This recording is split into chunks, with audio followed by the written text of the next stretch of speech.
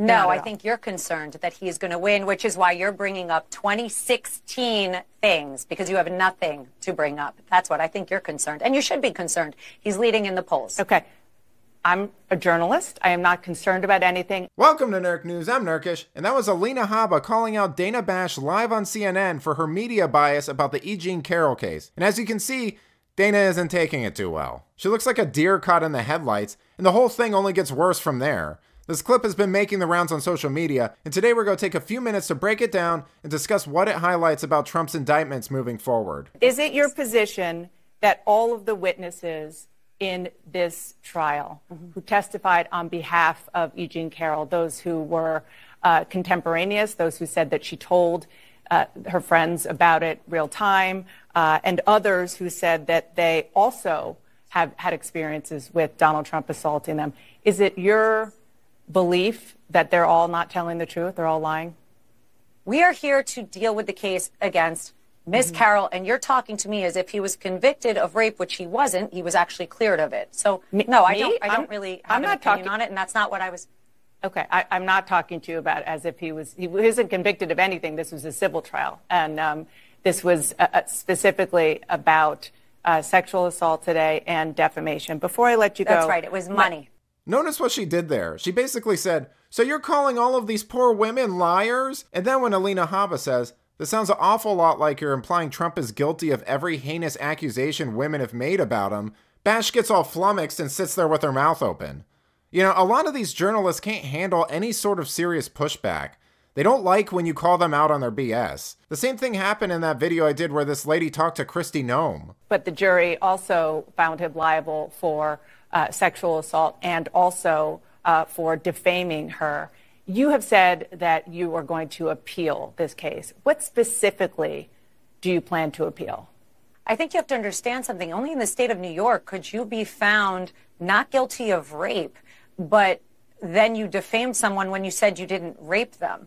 That in itself just doesn't make sense, right? So we have a law that was put in place that has a one year opening for anybody and everybody, and probably Jean Carroll specifically, to bring a claim against Donald Trump. So we're going to appeal a lot of things: the constitutionality, the um, jury that that failed to find a rape verdict, but then somehow said he said he was defaming her when he said he didn't do it, and she's not my type. All of a sudden, that is a crime in this country. That is sick. That's an excellent point Habba just made about those claims.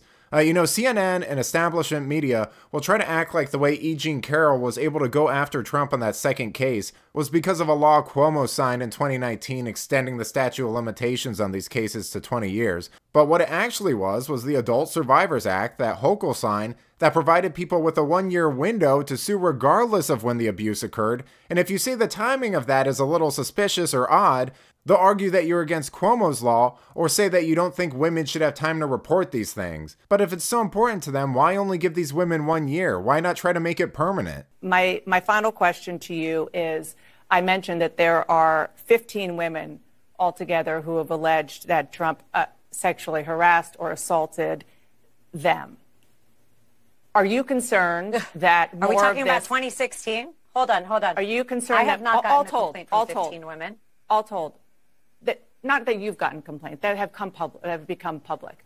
Are you concerned that this since case 20 that are you talking today, about 2016? Is that the desperation that we're at right are now? Are you concerned?